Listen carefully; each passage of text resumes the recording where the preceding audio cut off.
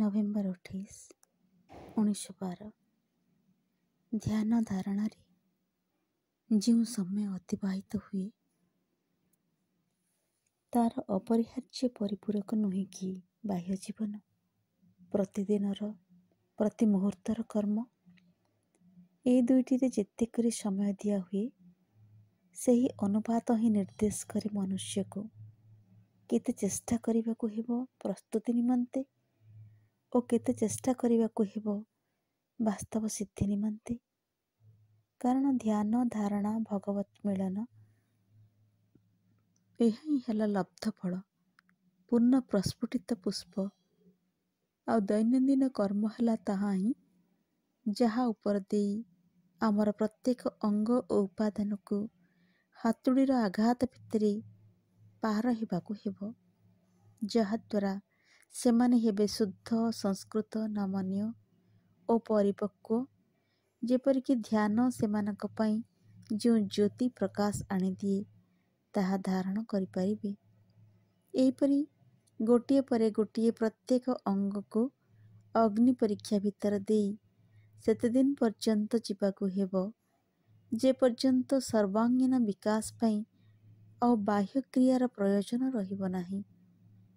ବାହ୍ୟ କ୍ରିୟା ସେତେବେଳେ ହୋଇଉଠିବ ତ ପ୍ରକାଶର ଯନ୍ତ୍ର।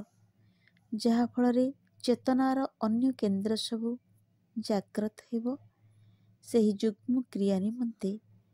ଗୋଟିଏ ଦିଗରେ ଦାହନ ବା ଅଗ୍ନିଶୁଦ୍ଧ ଅନ୍ୟ ଦିଗରେ ଦୀପନ ବା ଜ୍ୟୋତି ସିଦ୍ଧି ସେଥିପାଇଁ ଆତ୍ମଶ୍ଳାଘା ଓ ଆତ୍ମତୁଷ୍ଟିଠାରୁ ବଳି ବଡ଼ ବାଧା ଆଉ କିଛି ନାହିଁ। ଏହି ଯେଉଁସବୁ ଅସଂଖ୍ୟ ସତ୍ତା ଉପାଦାନ ରହିଛି ସେମାନଙ୍କ ଭିତରୁ କେତେକଙ୍କୁ ଢଳେଇ କରି ଶୁଦ୍ଧ କରିବାକୁ ହେବ? ଯେପରିକି ସେସବୁ ହୋଇଉଠିବେ ନମନୀୟ ନୈର୍ବକ୍ତିକ ଯେପରିକି ସେମାନେ ଶିଖିପାରିବେ ଆତ୍ମବିସ୍ମୃତି ଆତ୍ମତ୍ୟାଗ ନିଷ୍ଠା ମୈତ୍ରୀ ଓ ନମ୍ରତା। ଏଥିପାଇଁ ଯେଉଁସବୁ ସୁଯୋଗ ଆସେ ତାହା ଯେତେ ସାମାନ୍ୟ ହେଲେ ବି ଆମକୁ ତତ୍କ୍ଷଣାତ୍ ସେସବୁକୁ ଗ୍ରହଣ କରିବାକୁ ହେବ କୃତଜ୍ଞତାର ସହିତ।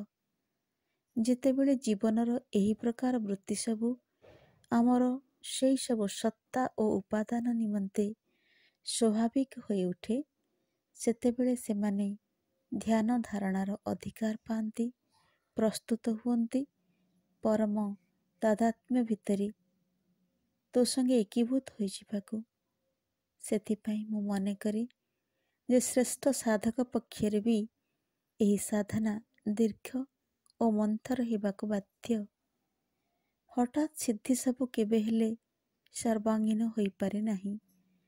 ତା ଫଳରେ ସତ୍ତାର ଦିଗ ପରିବର୍ତ୍ତନ ହୁଏ ସତ୍ତାକୁ ଏହା ସିଧା ମାର୍ଗରେ ରଖିଦିଏ। କିନ୍ତୁ ଯଥାର୍ଥ ଭାବରେ ଏ ଲକ୍ଷ୍ୟରେ ପହଞ୍ଚିବାକୁ ହେଲେ ପ୍ରତି ମୁହୂର୍ତ୍ତରେ ସବୁ ପ୍ରକାରର ଅଗଣିତ ଅଭିଜ୍ଞତାର ପ୍ରୟୋଜନକୁ ସ୍ୱୀକାର ନ କରି କାହାରି ଉପାୟ ନାହିଁ। ହେ ପରମଧୀଶ୍ୱର ମୋ ଭିତରେ ପ୍ରତ୍ୟେକ ବସ୍ତୁ ମଧ୍ୟରେ ତୁ ପ୍ରଜ୍ୱଳ ତୋ ଜ୍ୟୋତିର ଆବିର୍ଭାବ ହେଉ ତୋ ଶାନ୍ତିର ରାଜତ୍ୱ ଆରମ୍ଭ ହେଉ ସମସ୍ତଙ୍କ ପାଇଁ। ମା